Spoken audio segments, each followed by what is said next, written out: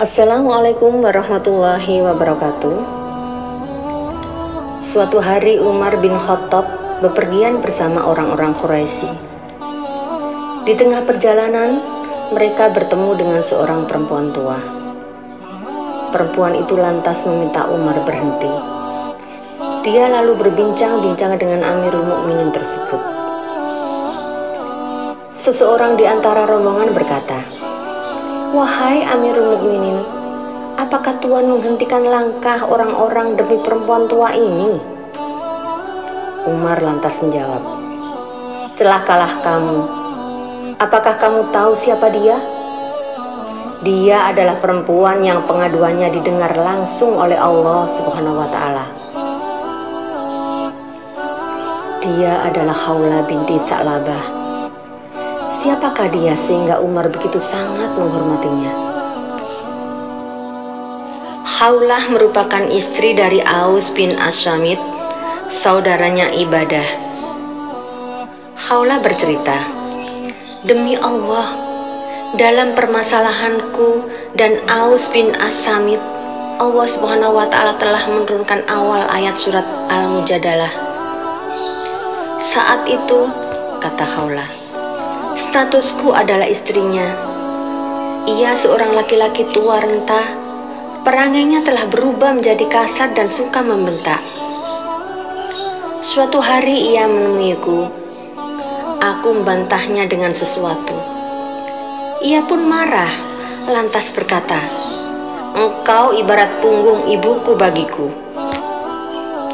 Ia lalu keluar dan duduk di tempat kaumnya berkumpul. Beberapa saat kemudian, ia masuk menemuiku, dan saat itu ia menginginkanku. Maka aku katakan padanya, sekali-kali tidak, demi zat yang jiwaku berada dalam kekuasaannya, janganlah engkau mendekatiku. Engkau telah mengucapkan apa yang telah engkau ucapkan. Sampai Allah dan Rasulnya memutuskan hukum dalam permasalahan kita. Kemudian ia melompat hendak menangkapku. Aku menghindar darinya dan berusaha melawan dengan kekuatan seorang perempuan menghadapi lelaki tua lemah. Aku berhasil mendorong tubuhnya dariku. Lalu aku keluar sehingga aku menemui Rasulullah. Maka aku duduk di hadapan beliau. Kemudian aku menceritakan apa yang telah kuhadapi dengan suamiku. Aku mengeluh pada beliau perihal perilaku kasar suamiku itu.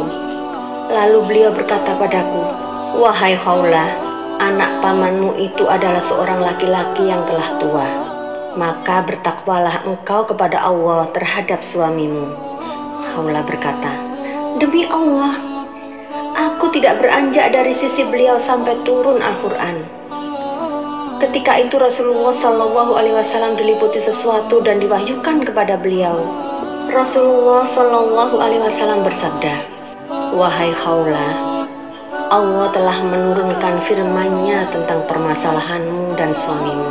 Kemudian beliau membacakanku surat Al-Mujadilah ayat 1 sampai 4 yang artinya sesungguhnya Allah telah mendengar perkataan wanita yang mengajukan gugatan kepada kamu tentang suaminya dan mengadukan halnya kepada Allah dan Allah mendengar soal jawab antara kamu berdua Sesungguhnya Allah Maha mendengar lagi Maha melihat.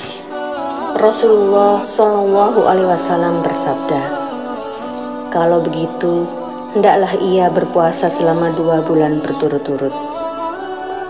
Aku berkata, demi Allah wahai Rasulullah, dia adalah seorang lelaki tua yang tidak sanggup lagi berpuasa.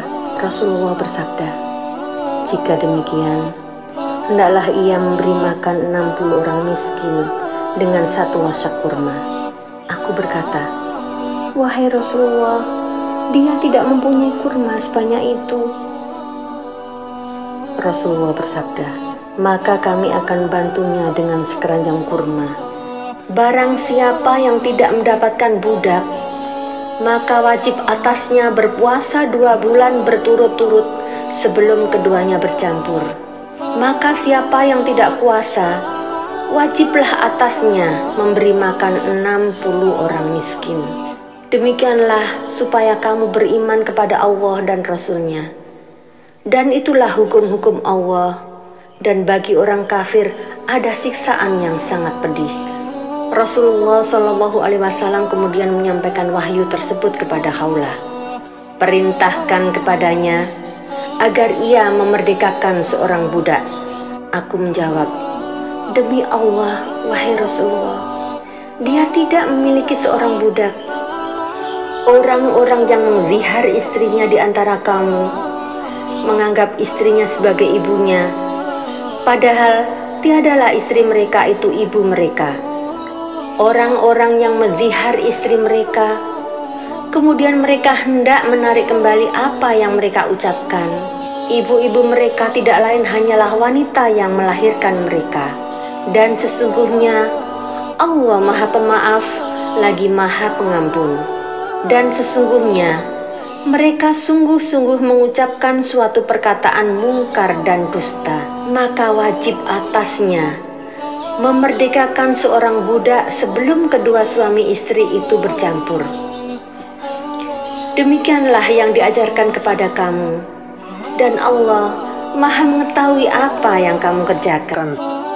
Rasulullah bersabda, "Perbuatanmu benar dan bagus. Pergilah, dan bersedekahlah untuk suamimu. Kemudian berwasiatlah dengan anak pamanmu dengan baik. Maka aku pun melakukan perintah beliau.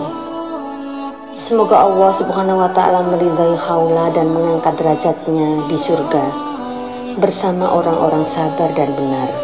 Sumber naskah dari Al-Isoba, Fitam Nisi, As-Sohaba, Tafsir Al-Hurtubi, Tafsir Ibnu Kathir, Soheh Al-Bukhari